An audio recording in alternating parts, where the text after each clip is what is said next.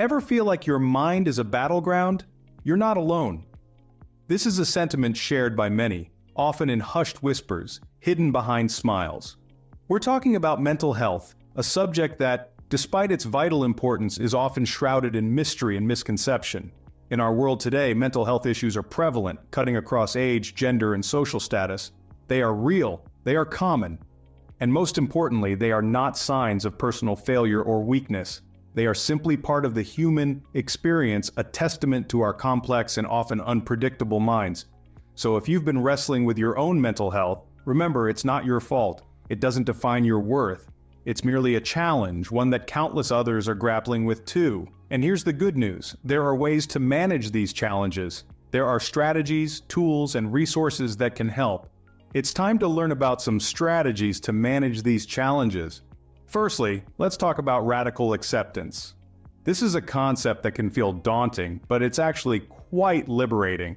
Radical acceptance is about acknowledging your mental health challenges head on, instead of running from them or brushing them under the rug. It's about looking your struggles in the eye and saying, I see you, I accept you, and I will work with you.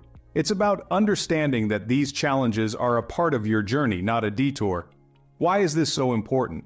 Because denial only feeds into the cycle of guilt, shame, and frustration. It keeps you stuck in a loop of why me and what's wrong with me.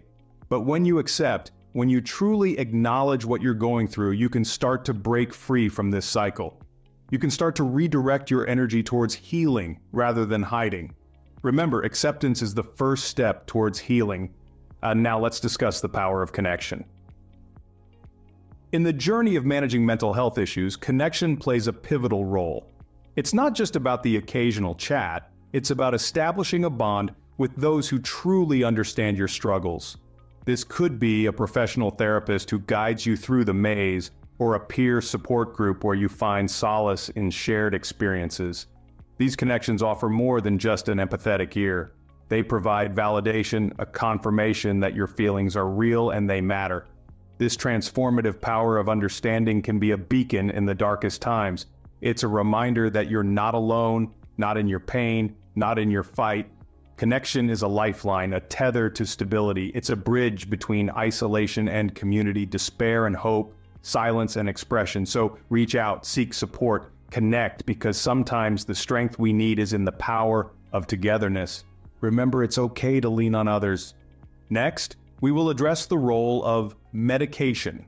When we talk about mental health, medication often becomes a topic of debate. It's surrounded by a cloud of stigma and misunderstanding.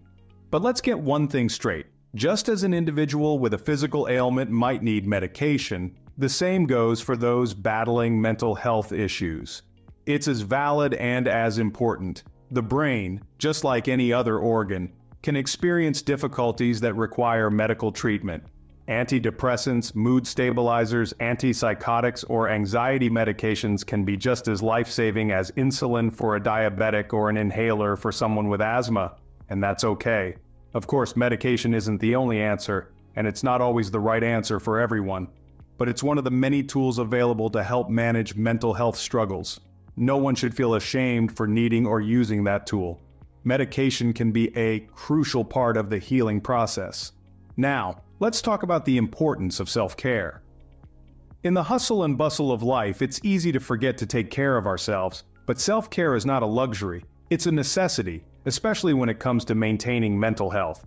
It's like refueling a car. You can't expect to keep going without stopping for fuel. Self-care looks different for everyone. It could be reading a book, taking a walk, or even just sitting quietly for a few minutes. The key is to do something that helps you relax and recharge, and here's an important point. Self-care needs to be scheduled and prioritized. It's not something you do when you have spare time, it's something you make time for. It's a priority, not a luxury. So carve out some time for yourself each day, no matter how busy you are.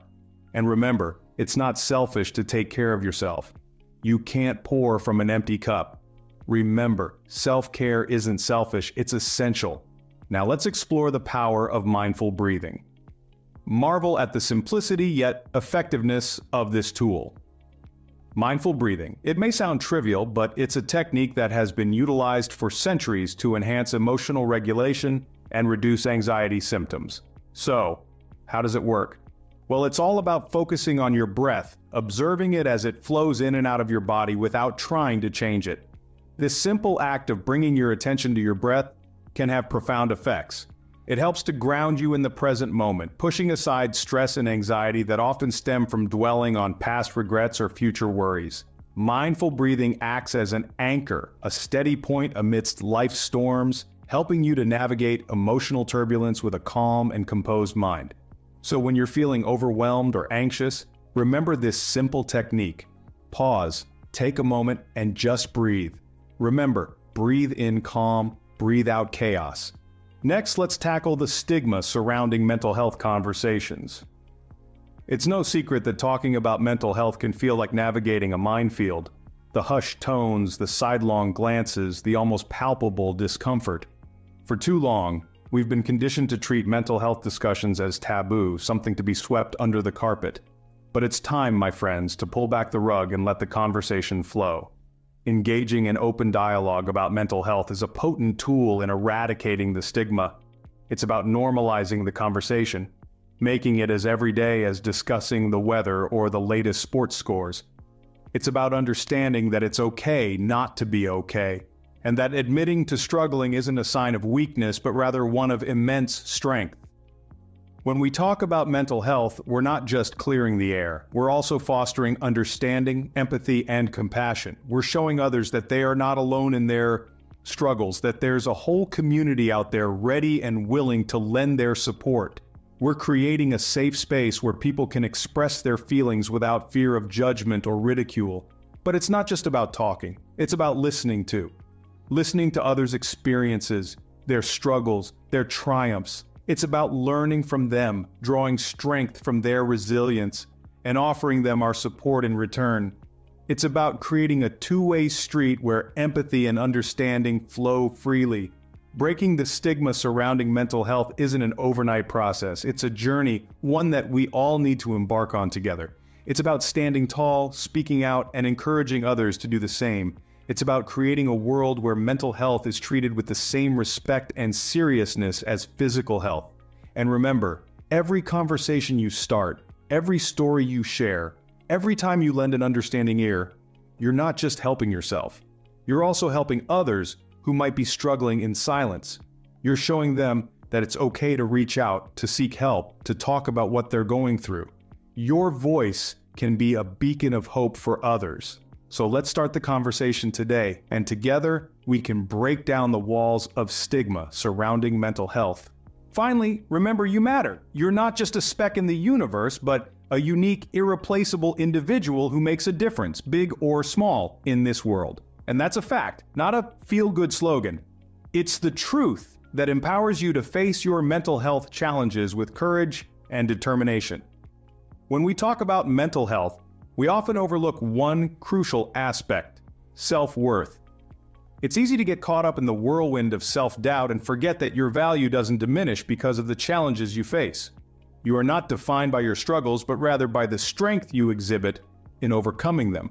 And here's the thing seeking help isn't a sign of weakness, it's a testament to your resilience. It's an act of courage to acknowledge that you're struggling and need support.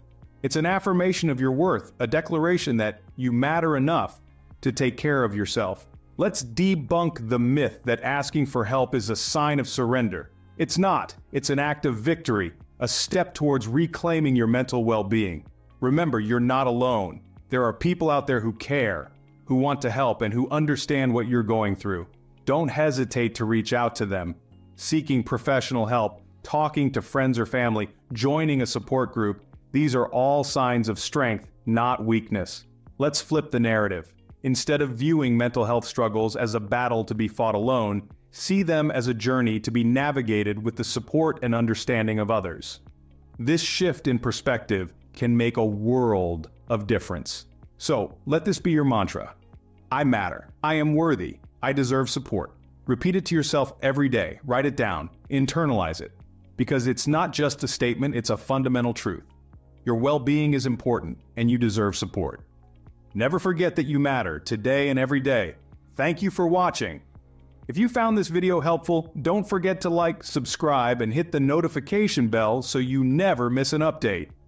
And most importantly, please share your thoughts and comments below. I'd love to hear what you think. Thanks again, and may God bless you with more power and prosperity.